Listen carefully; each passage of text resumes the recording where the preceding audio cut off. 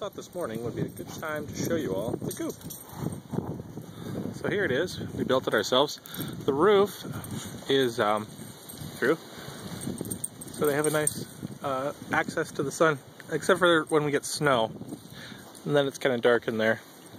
It's also on wheels, so we can move it, and uh, there's this other modular piece we can attach when we go on vacation. It also serves as a garden tractor. And then um, course, we have the necessary little coop door for the chickens to come out of. And I will let them out here this morning. There's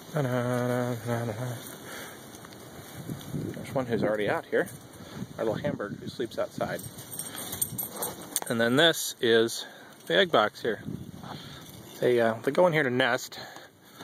We can pull it up can look in there. See, look, there's a light Brahma in there right now, laying. And then over here, we have a nice brown egg.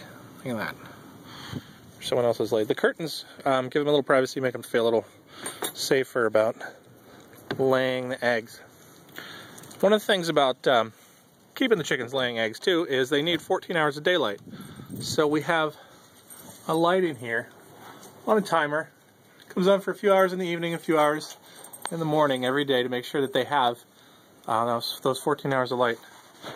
There's another nesting box in here, which is not used very much because it doesn't have the nice curtain feature. And there's our Hamburg who sleeps outside. Come in to get some food. Uh, we have food here hanging from the ceiling, and then uh, water.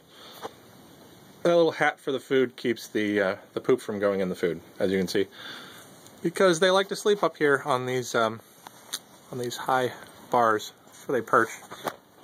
We got some uh, lower bars we tried to get them on. And these were the ones we designed for them to be on, but now that there's only a few of them, they don't really use them all that much. It's a hungry, hungry Hamburg right there.